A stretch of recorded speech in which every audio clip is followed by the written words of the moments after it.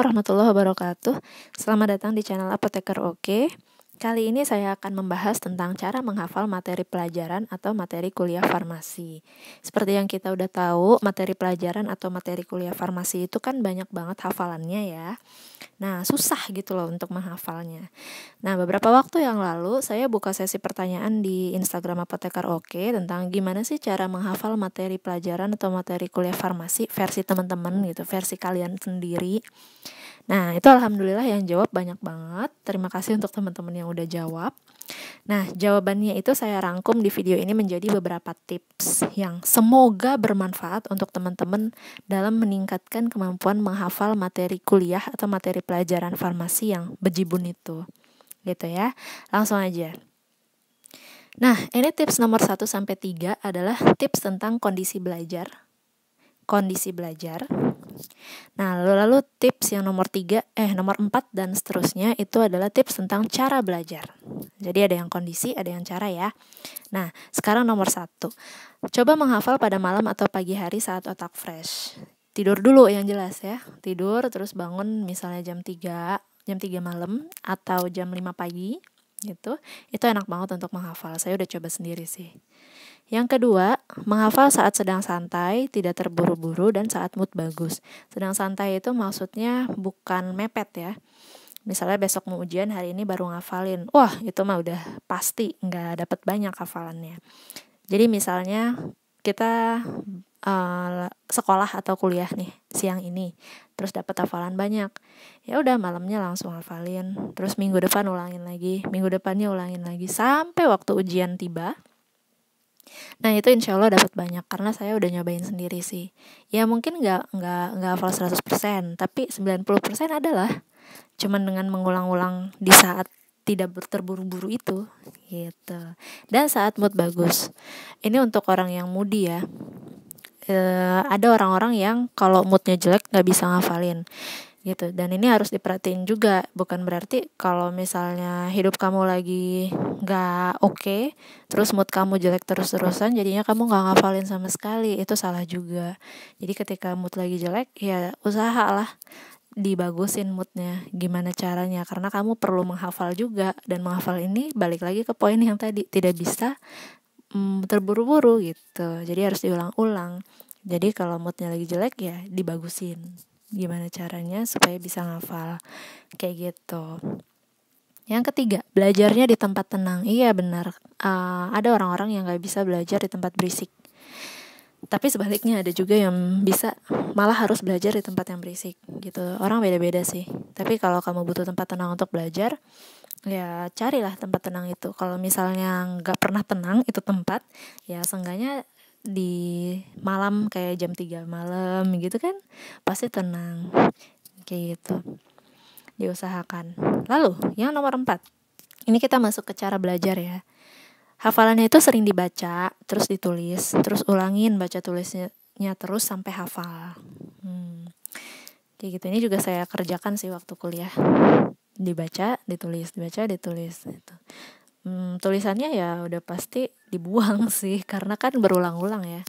Tapi dengan menulis itu kita lebih hafal daripada cuman baca doang gitu. Dan kadang-kadang tuh uh, kalau ngelihat si misalnya kita lagi ngafalin apa ya? Misalnya lagi ngafalin nama latinnya jeruk nipis kan citrus aurantifolia gitu.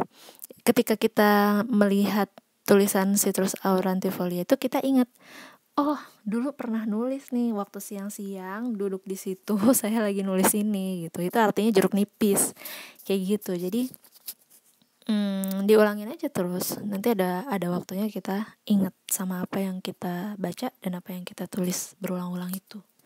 Gitu. Terus nomor lima dipahami apa yang dihafal. Nah ini banyak banget yang uh, jawab ini. Saya sih nggak dihafal tapi dipahami aja. Tapi kalau saya pribadi ya memahami aja tuh nggak cukup tetap butuh hafal. Tapi bener dengan memahami jadi lebih mudah hafal. Kok ribet ya? Ya begitulah. Jadi kalau ada materi yang jelimet kayak misalnya farmakologi ya itu kan ribet banget tuh materinya. Dari sini ke sana dari sana ke sana nyambung nyambung terus gitu kan. Nah itu bener sih harus dipahami dulu baru bisa hafal habis itu dipahami terus diulang-ulangi gitu ya Nomor 6, mulai dari yang sering dipakai dulu. Nah, iya. Kayak ada juga nih yang jawab misalnya nama Latin nih. Ya udah, kita uh, cari nama Latin yang kita sering lihat dulu. Misalnya mangga. Apa sih nama Latin mangga? Gitu. Misalnya kayak tadi jeruk nipis. Apa sih nama Latin jeruk nipis? Gitu. Atau apalagi ya coklat. Apa sih nama Latinnya coklat?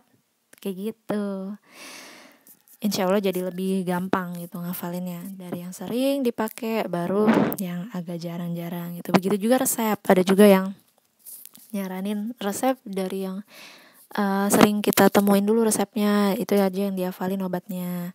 Terus baru nanti berkembang ke obat-obat yang lain. Kayak gitu yang ketujuh, pakai jembatan keledai dengan istilah-istilah yang menarik. Nah, ini kita sering posting di Instagram Apoteker Oke. Contohnya ini, ini cara ngafalin nama-nama vitamin B ya. Taruh nasi di piring kotor. Tiamin B1, riboflavin B2 dan seterusnya. Gitu dan ada beberapa jembatan keledai lagi yang kita post di Instagram Apoteker Oke.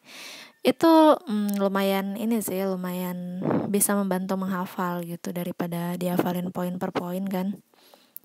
Karena otak kita tuh uh, nyam apa ya saya pernah baca emosional gitu ya.